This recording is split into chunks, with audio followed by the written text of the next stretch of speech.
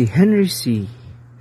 ay isinilang sa Xiamen, Fujian, China sa edad ng labing dalawa noong October 15, 1924. Siya at ang kanyang pamilya lumipat sa Pilipinas. Nagtayo ang kanyang ama ng isang tindahan.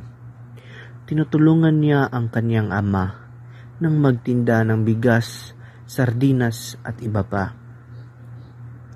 Ngunit nawala ang pinagpaguran nila nung sumapit ang ikalawang digmaang pangdaigdig. Kaya napilitan ang pamilya bumalik ni Henry C. sa China. Ngunit nagpaiwan si Henry C. upang tapusin ang kanyang pag-aaral sa Chiang Kai-shek College sa Tondo. Nakuha niya ang kanyang Associate of Arts degree sa Far Eastern University noong 1950. Natutunan din niya ang lingwaheng English at Tagalog. Pagtungtong ng 20, si Henry C. ay isang store manager sa isang American business na kilala sa local shoes industry.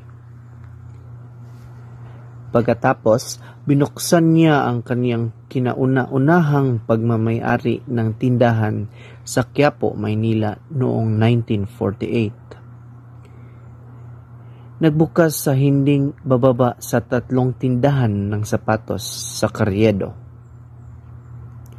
Kilala ang lugar na Carriedo dahil sa bigat na trapiko dito. Ang kaniyang desisyon sa pagbukas ng tindahan ng sapatos ay dahil sa pagkalugi ng negosyo ng kanyang pamilya.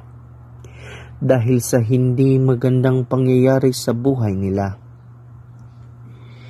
Iniisip niya na ang lahat ay nangangailangan ng sapatos. Nagbebenta siya ng GI boots o military boots. Matinding pag-iipon ang ginawa niya bago niya maitayo ang Shoemart noong 1958. Itinayo niya ito sa mismong tindahan niya ng sapatos sa Quiapo, Manila.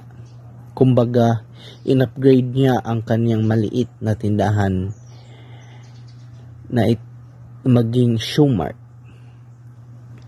Ito rin ang sinasabi ang simula ng SM Prime nagkaroon siya ng problema sa kakulangan ng stocks na local brands na sapatos. Kaya pinasok na niya ang pag-i-import ang pagpasok ng sapatos sa ibang bansa.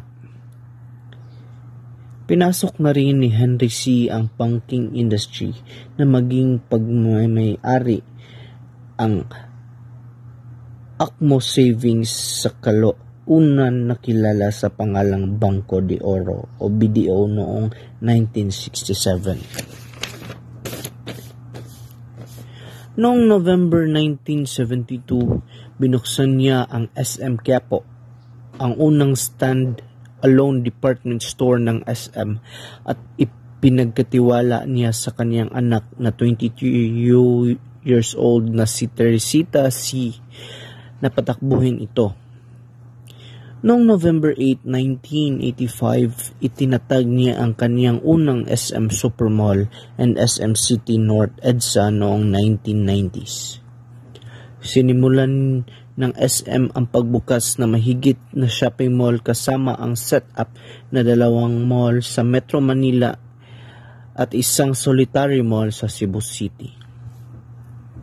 Si C ay pinakangalanang richest man of the year ng Makati Business Club noong 1999 at hinawaran sa isang honorary doctorate sa business management sa De La Salle College University.